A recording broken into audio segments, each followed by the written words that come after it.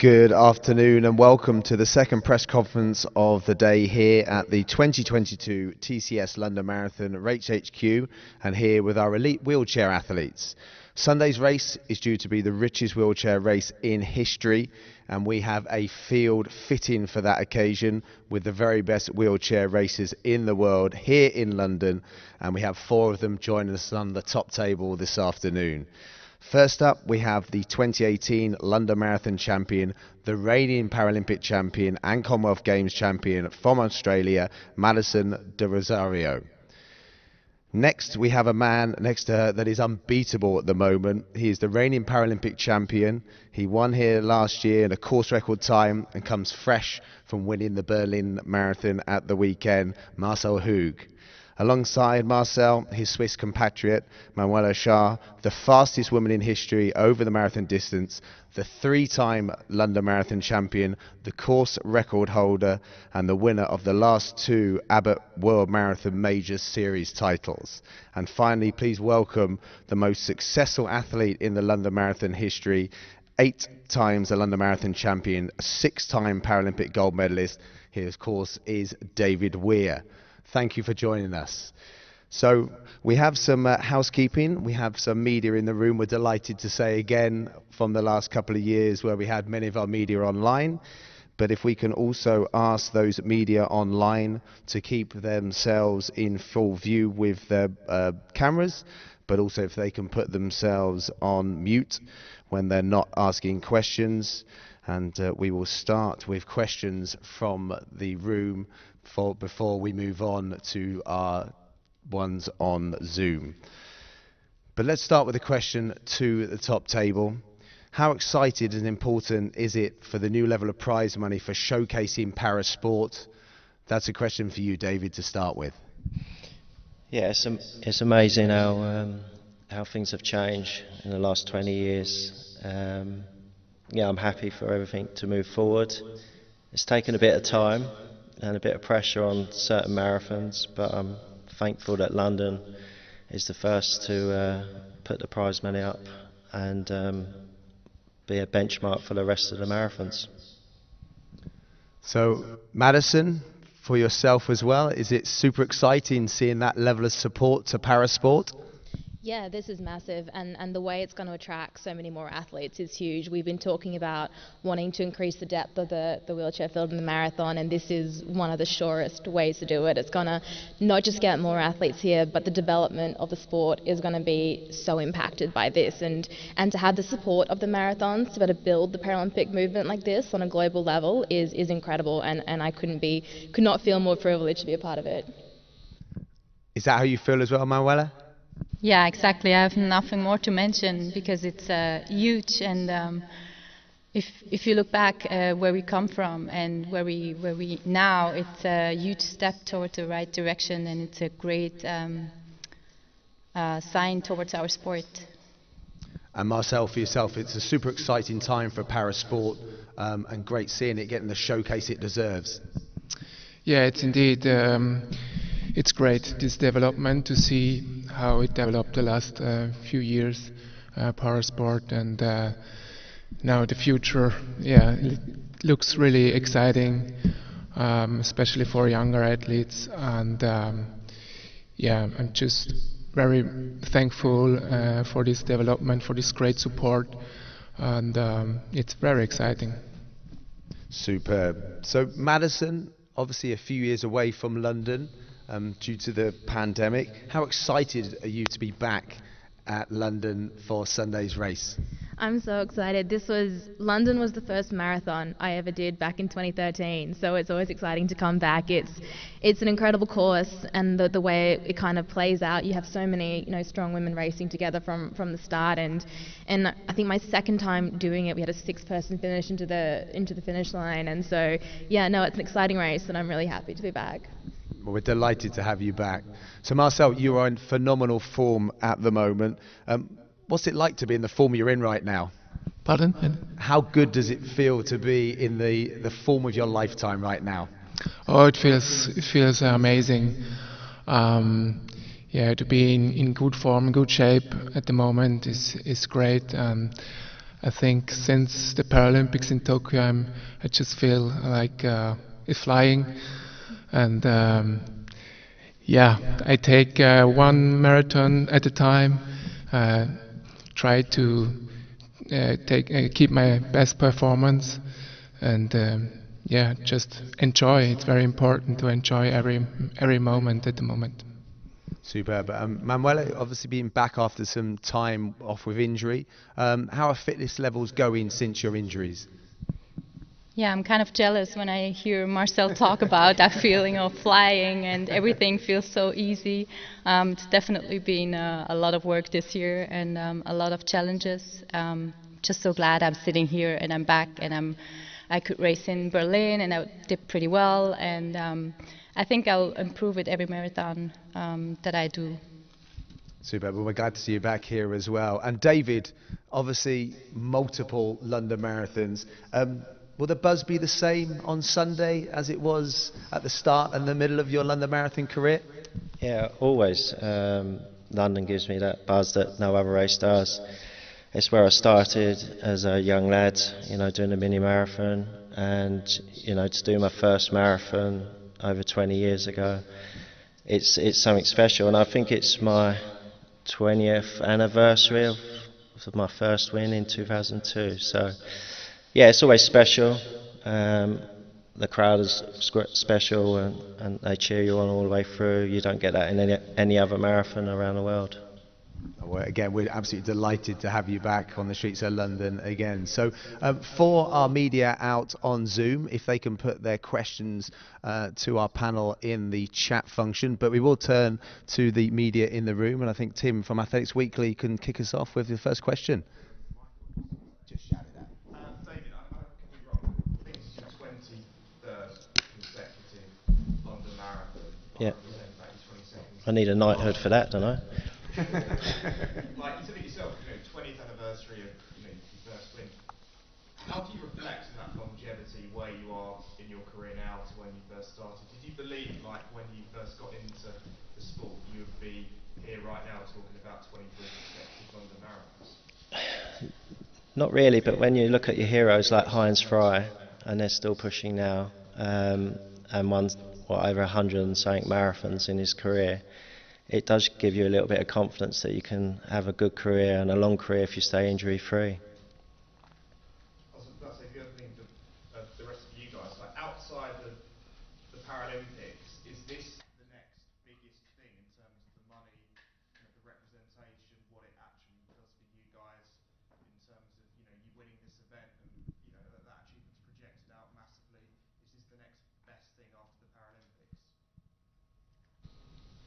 I would actually say it's pretty equal to the Paralympics. The Abbott World, yeah. I think it's bigger. Any reason why it's bigger?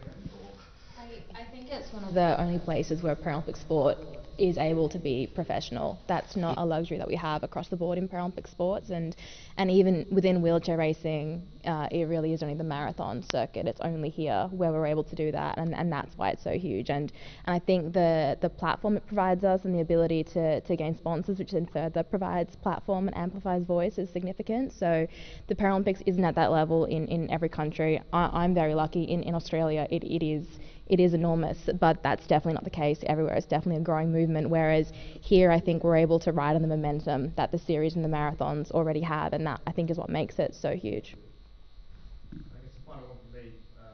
you know, David, you you started with the mini marathon, for example, you know, Eliud Kipchoge's giving the medals out this weekend. What does that do for the next generation? Because there'll be you know, kids in wheelchairs potentially in that mini marathon who could be you maybe in 20 years' time.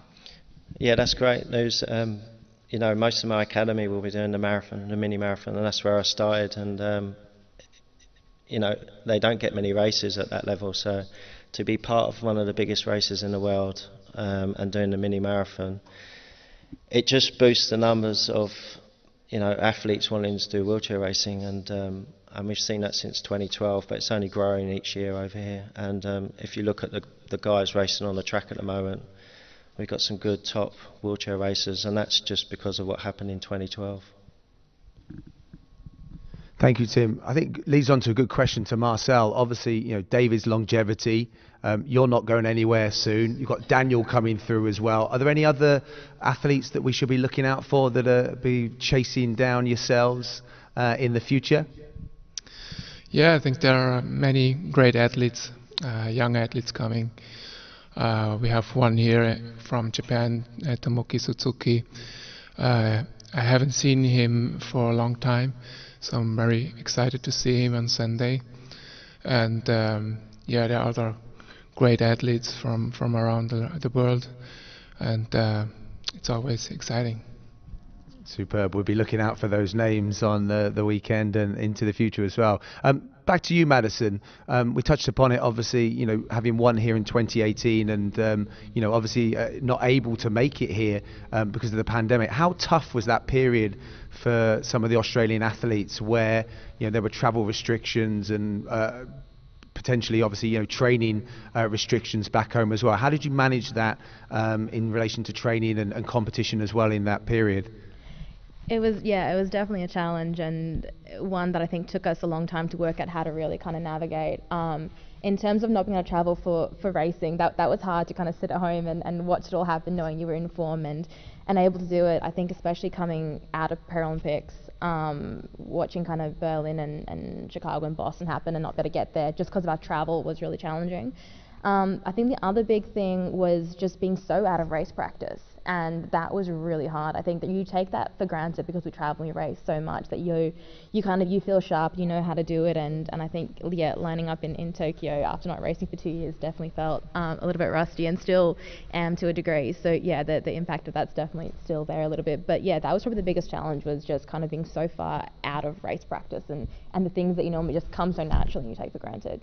So it must have been even more exciting than to be back at the Commonwealth Games and uh, yeah, obviously ready for London on Sunday. Yeah, no, definitely. I think at the moment, you know, I think every race we line up for is so exciting because you kind of know what it's like to be, you know, not be not being able to to be there for it. So yeah, definitely not taking that for granted again anytime soon. Superb. I think we can uh, go to our first of our media on Zoom, and I think we've got Mike Rowbottom. Hi there. Yes, um, it's a question for David. I'm sorry to bring it up, David, but Birmingham, as Maddison just mentioned there, um, was that lightning striking, and uh, is that really the only time that happens? Are you free of that now? And have you managed to get? So I think Mike's internet was cutting out there, but I think you got the first part of the question. Obviously, what happened in uh, Birmingham with the Commonwealth Games with the puncher? How, how you know likely and often does that happen in training or? Um, it's very rare for me. I think the last time I had a puncher in, in a race was 2010 London Marathon. So um, I was debating to take a spare for, for two weeks going into the Commonwealth Games, and um, I never do take a spare. And I do now um, after what happened. Um, but it's just one of those things, and it's very rare. I, have probably in the last five years I've had one puncher in training, so you know it's just one of those things that happen on the day. Um, it, whatever I hit, it definitely exploded and took my tyre off and stuff. So, but you, you get over it, and yeah, you're a bit frustrated afterwards and stuff. It was probably, in my eyes, probably the last opportunity to win a medal.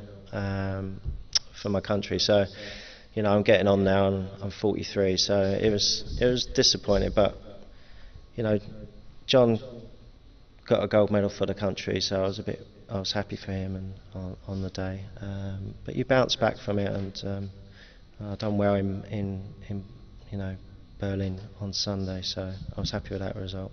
Bit of extra fire, bit of extra kind of. Uh, uh, kind of determination in training over the last few weeks because of that? Yeah, definitely. Um, it spurred me on a little bit more. I actually had to go on a stag do after that, so it um, it, um, it, it definitely helped. I think going out on the on on the stag in, in Birmingham uh, just before my wedding. So yeah, if I didn't have that, I'd probably been dwelling on it for a, a, a long period. But um, yeah, it was it's just one of those things. I'm, I'm one of these guys that just gets over it and just moves on to the next race. To be honest. Superb. Uh, let's turn to, uh, I think, Danny Coyle. Dan- Danny, are you there?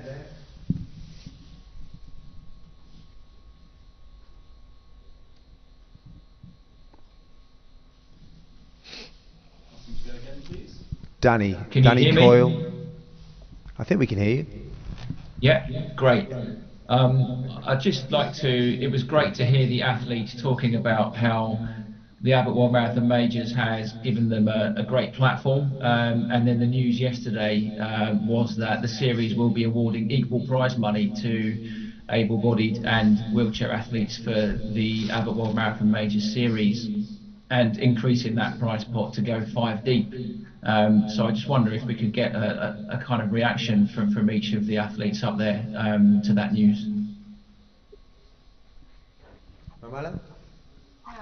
Like I said before, it's it's huge, and um, every time I hear such news, it's like overwhelming, and it's like, oh my God, is this really happening?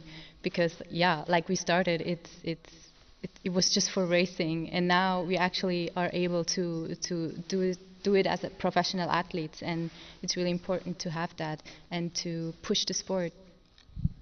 David, obviously having you know been around not at the beginning, but uh, you know towards there, um, did you envision it, you know back then you know having this um, kind of support, or would, you know was that something you hoped would happen?